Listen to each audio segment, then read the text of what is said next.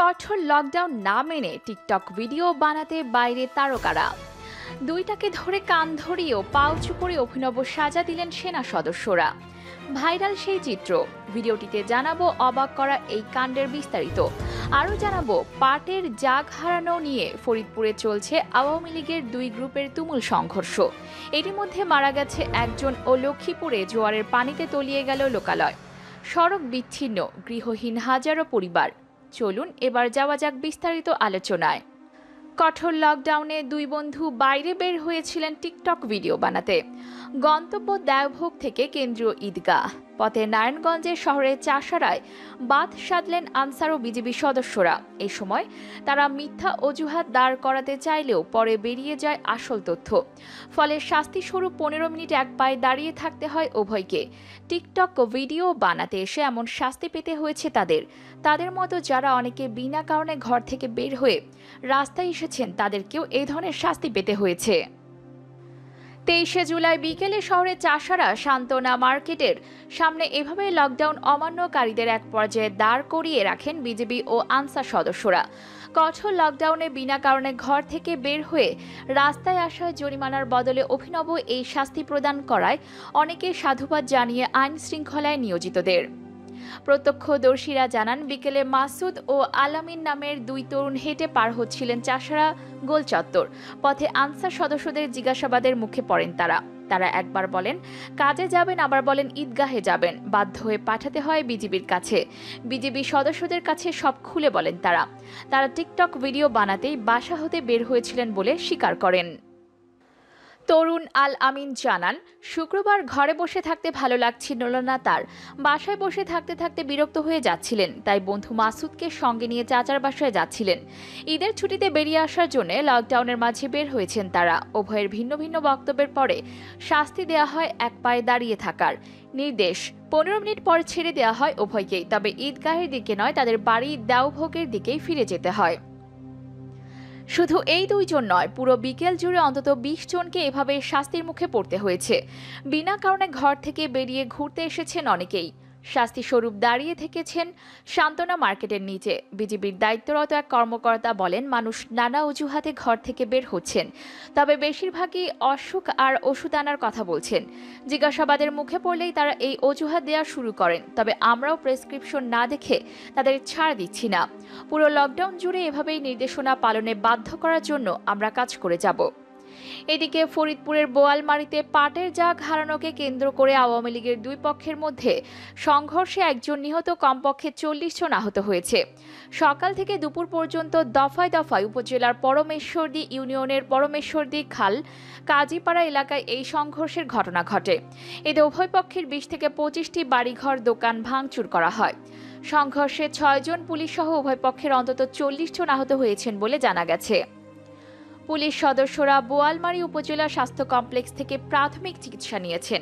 উভয় পক্ষের আহতদের অনেকে বিভিন্ন মামলার আসামি হওয়ায় তারা বিভিন্ন জায়গায় চিকিৎসা নিয়ে পলাতক রয়েছেন। খবর পেয়ে বোয়ালমারী ও সালথা থানার পুলিশ ঘটনাস্থলে গিয়ে পরিস্থিতি নিয়ন্ত্রণে আনে। এ সময় উভয় পক্ষকে ছত্রভঙ্গ করতে পুলিশ শটগানের গুলি চালায় এবং লাঠিচার্জ করে।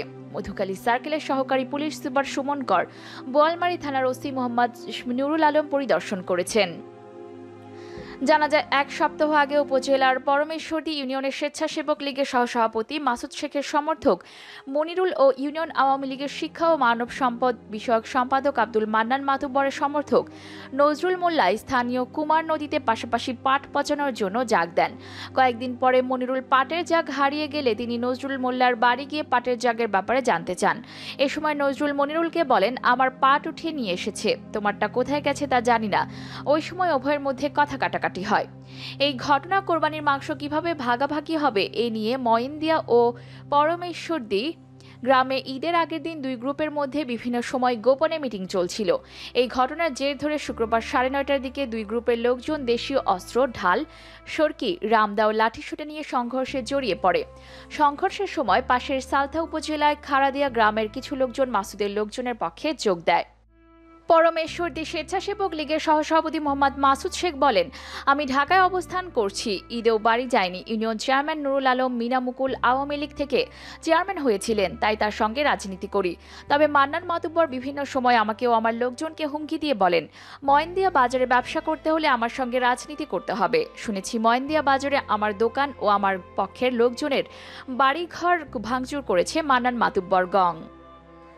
আরেক পক্ষের নেতৃত্ব দানকারী পরমেশ্বরদী ইউনিয়ন আওয়ামী লীগের শিক্ষা ও মানব সম্পদ বিষয়ক সম্পাদক আব্দুল মান্নান মাতুব্বর বলেন, আমি স্থানীয় রাজনীতি করি। আমার লোকজনকে দলে নিতে মাসুদ বিভিন্ন সময় ভয় ভীতি দেখায়। আজকে তার লোকজন আমার পক্ষের লোকজনের ওপর হামলা চালালে আমার লোকজনও তাদের উপর পাল্টা হামলা চালিয়েছে। আমার দুইজন মারাত্মক আহত হয়ে ফরিদপুর মেডিকেলে ভর্তি হয়েছে। এদিকে দুই পক্ষের মধ্যে সংঘর্ষে আহত হয়ে মারা গেছে শহীদ ফকির নামে এক ব্যক্তি।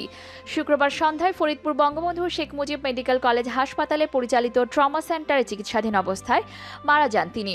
শহীদ ফকির পরমেশ্বরদী ইউনিয়নের ফকিরপাড়া গ্রামের রাজ্জাক ফকিরের ছেলে।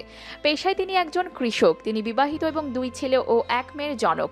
শহীদ ফকিরের খালাতো ভাই মান্নান ফকির বলেন, গতকাল সকালে পরমেশ্বরদী ইউনিয়নের কাটাখাল এলাকার সংঘর্ষ চলাকালে প্রতিপক্ষের রামদায়ের কোপে মারাত্মকভাবে আহত হন শহীদ। তাকে দ্রুত ফরিদপুর ট্রমা সেন্টারে এনে ভর্তি করা হয়। এখানে চিকিৎসাধীন অবস্থায় সাড়ে ছয়টার দিকে মারা যান তিনি। অপরদিকে মেঘনা উপকূলীয় লক্ষ্মীপুরে তিনটি উপজেলায় হঠাৎ অস্বাভাবিক জোয়ারের পানিতে মানুষের দুর্ভোগ বেড়েছে। জেলার রামগতি, কমলনগর ও রায়পুরে নিম্নাঞ্চল প্লাবিতের পাশাপাশি চরাঞ্চলে বিপুল ফসলের মাঠ। ঘরবাড়ি ও মাছের ঘের ডুবে গেছে। কমলনগরের চর মার্টিন এলাকায় একটি সড়ক বিচ্ছিন্ন হয়ে চলাচল বন্ধ হয়ে গেছে। তেইশে জুলাই দুপুরে পূর্ণিমার প্রভাবে সৃষ্ট জোয়ারের নদীর পানি বেড়ে যায়। স্থানীয়দের সঙ্গে কথা বলে জানা গেছে, নদীর পানি স্বাভাবিকভাবে যে পাঁচ থেকে সাত ফুট বৃদ্ধি পেয়েছে। রামগতির বিচ্ছিন্ন চর আবদুল্লাহ ইউনিয়ন পরিষদের সদস্য মেম্বার মোহাম্মদ টিপু জানান, তেলির চর, উত্তর চর আবদুল্লাহ চর, গাছিয়াত ও চর ও মোজাম্মেল পানিতে ডুবে গেছে। জোয়ারের পানিতে রাস্তাঘাট ও বাড়ির উঠান ডুবে বসত ঘরে পানি উঠেছে। পানিবন্দী হয়ে হাজার মানুষ কষ্ট পোহাচ্ছে। স্থানীয়দের বরাদ দিয়ে তিনি আরও বলেন তেলিচর বাজার, কামাল বাজার ও চেয়ারম্যান বাজার পানিতে তলিয়ে গেছে। এতে বাজারের ব্যবসায়ীরা ক্ষতির সম্মুখীন হচ্ছেন। রামগতি উপজেলার মেঘনার ভাঙন কবলিত বালুরচর চর আলেকজান্ডার সুজন গ্রাম, গাবতলি চর, আলগি চর, গোসাই চর মরমিচ বড়খেরি চর গাজী, চর গজারিয়া বিস্তীর্ণ জনপদ জোয়ারের পানিতে প্লাবিত হয়েছে। কমলনগরে নদীর তীর রক্ষা বাঁধ না থাকায় উপজেলা চর কালকিনি ইউনিয়ন, সাহেবের হাট, union Char Martin union, Char Falcon union ও পাটারিহাট ইউনিয়নের মেঘনা উপকূলীয় এলাকা জোয়ারের পানিতে প্লাবিত হয়েছে। চর মার্টিন ইউনিয়ন সদস্য নুরুল ইসলাম জানান, চর মার্টিন ইউনিয়নের আট নম্বর ওয়ার্ডের শাহালো মেম্বার বাড়ির দক্ষিণ পাশের রাস্তাটি জোয়ারের তোড়ে ভেঙে গেছে। এতে মানুষের চলাচল বন্ধ রয়েছে। দুর্ভোগে রয়েছে চলাচলকারীরা। সুপ্রিয় ভিউয়ার্স কঠোর লকডাউনে যেখানে মানুষের খাবারের জন্য বাইরে বের হতে পারছে না, সেখানে টিকটক বানাতে বাইরে বের হওয়া ছেলেপেলেদের শুধু এক পা উঁচু করে সোজা দেওয়া, সাজা দেওয়া কি যথেষ্ট বলেন? দেশের করুণ সময়েও এদের ফাজলামি বন্ধ হয় না। আমার মতে সারা দেশে অভিযান চালিয়ে এসব নোংরা টিকটকারদের রামধোলাই দেওয়া উচিত। তাহলে সব নোংরামি বন্ধ হবে। কি বলেন আপনি? আপনিও একমত হলে ভিডিওটির কমেন্ট বক্সে হা, একমত লিখতে পারেন অথবা জানাতে পারেন আপনার ভাবনাও। সবশেষে দেশ বিদেশের সবশেষ সকল আপডেট খবরাখবর নিয়ে নিত্য নতুন ভিডিও পেতে আমাদের চ্যানেলটি সাবস্ক্রাইব করে আমাদের সাথে যুক্ত থাকুন। ধন্যবাদ সবাইকে।